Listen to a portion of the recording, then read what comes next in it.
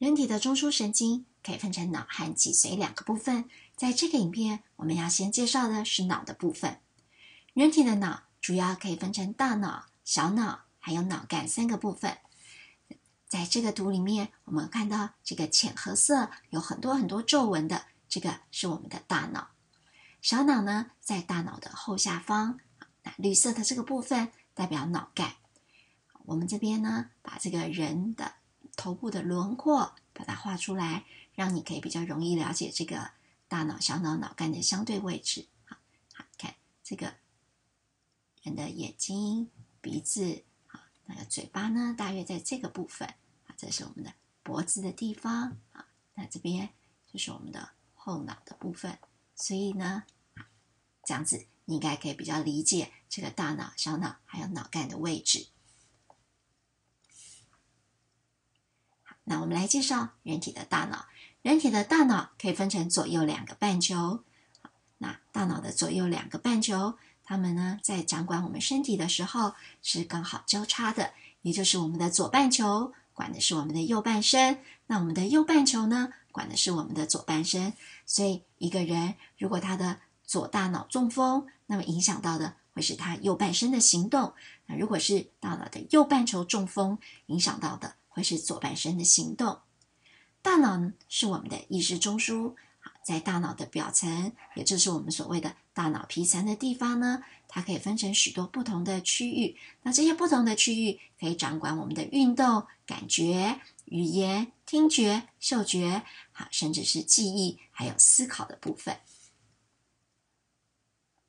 我们来看一下这个大脑皮层的分区。在这个大脑皮层呢，我们画浅蓝色的这个代表大脑的运动区，这个紫色的部分代表大脑的感觉区，好，桃红色的这一块代脑代代表大脑的视觉区。啊，如果你的眼睛接受光线的刺激，那这个讯息传到大脑的视觉区，就会产生视觉。好，红色是我们的语言区，绿色的是嗅觉区，黄色的这个区块呢是我们的听觉区。好，其实我们大脑皮层的分区呢非常的复杂，我们在这里只是简单的介绍几个啊，你比较容易呃认知到理解的区域。那我们的大脑它甚至也会负责我们的长期记忆。还有负责掌管我们的思考。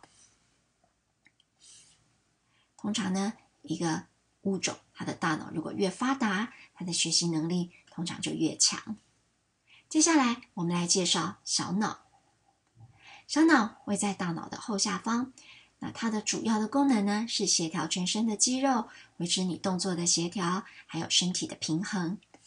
那小脑是这个橄榄绿的这一块啊，在你的等于是。后脑勺的下半部，也就是你睡觉靠着枕头的这个部分。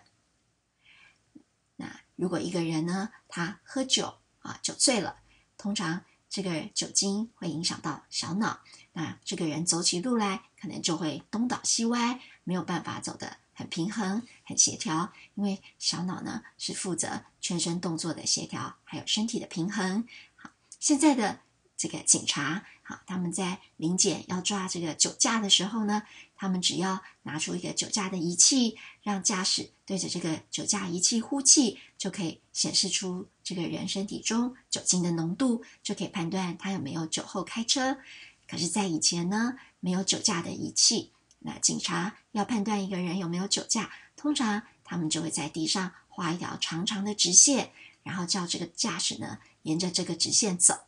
如果驾驶能够走得很直很稳，基本上他可能就没有酒驾。那如果驾驶呢沿着这个直线走起来东倒西歪啊，没有办法走得直，那这时候警察可能就会认为他是酒后驾车。所以小脑它可以维持我们动作的协调，负责身体的平衡。接下来呢，我们来看脑干。脑干负责掌管身体的心跳、血压、呼吸等等和生命迹象有关的这个部分。在医学上呢，如果一个医生判断一个人脑死，基本上就等于这个人的脑干已经死亡啊，他受到大的伤害，没有办法再发挥功能。一个脑死的人，基本上他的心跳、呼吸都没有办法自主的发生，他必须接着呼吸器才能够呼吸、心跳。换句话说，只要医生把这个维生的仪器管子拔开啊，拔管了，那这个人不久他就会停止呼吸和心跳，呈现死亡的状态。所以在医学上，如果医生宣布一个人脑死，那等于宣布他已经死亡。这个时候，其实它影响到的是脑干的部分。